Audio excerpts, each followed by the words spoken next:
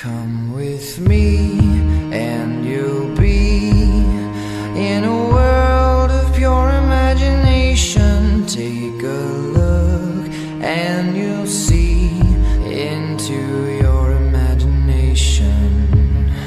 We'll begin with a spin, traveling in a world of my creation.